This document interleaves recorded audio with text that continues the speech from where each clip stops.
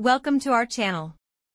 Today, we're going to show you how to enable encryption on your Windows 10 or 11 Home Edition.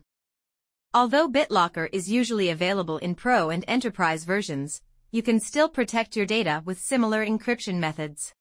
First, let's start by checking if your device supports BitLocker encryption. Type Control Panel in the search box, and then go to System and Security.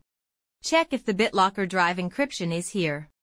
If you see this option, it means your Windows version support BitLocker drive encryption. However, you can see my BitLocker option is missing here. My system version is Windows 23 H2 Home Edition. And following I will introduce a useful tool to help me enable BitLocker for my fixed data drives, including USB flash drives, which are compatible with Windows Home Editions. At Begin, download and install iSunshare BitLocker Genius.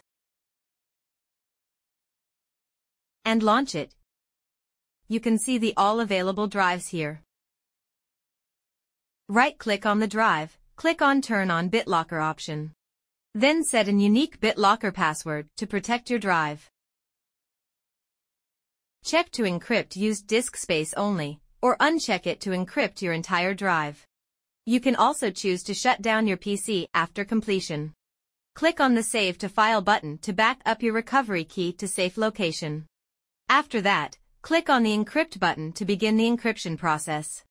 It will be very fast. After encryption complete, now your drive is already BitLocker protected.